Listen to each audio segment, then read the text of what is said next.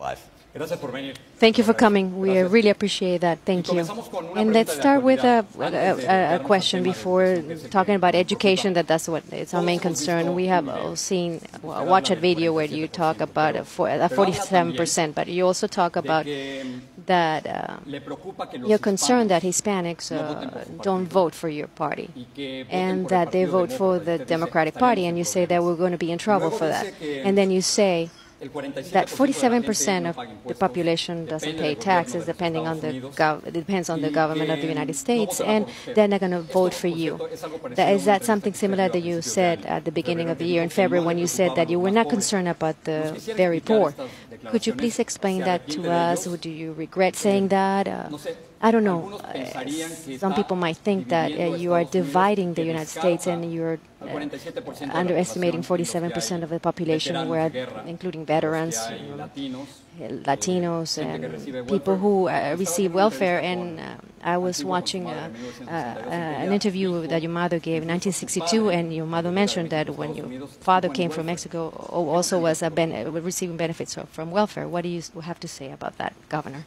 Well, first of all, this is a campaign about the 100%. And over the last several years, you've seen greater and greater divisiveness in this country.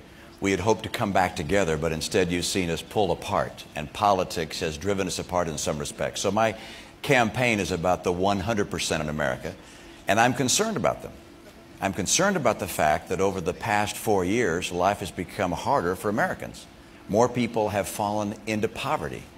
More people, we just learned, to have had to go on to food stamps. When the president took office, 32 million people were on food stamps. Today, 47 million people are on food stamps. Now, I, I know that I'm not going to get 100% of the vote, and my campaign will focus on those people we think we can bring in to, to support me.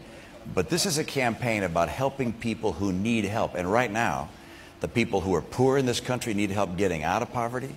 The people in the middle class need help because their incomes have gone down every year for the last four years. Jobs are harder to find. We have 23 million Americans out of work or stopped looking for work or underemployed. Half the kids coming out of college aren't able to get jobs or jobs consistent with a college degree. And this is a tough time for America. And I'm convinced that if we take a different course based upon my experience, a course that will reignite America's economy, you're going to see those numbers change. You're going to see people coming out of poverty. You're going to see incomes rising again in America.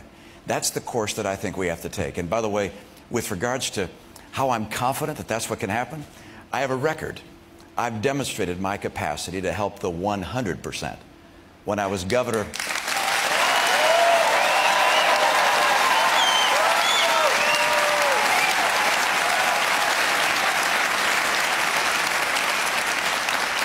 when I was governor of my state, the state of Massachusetts, our incomes rose every year. We brought unemployment down to 4.7%. Our schools became number one in the nation on all four measures, number one in the nation.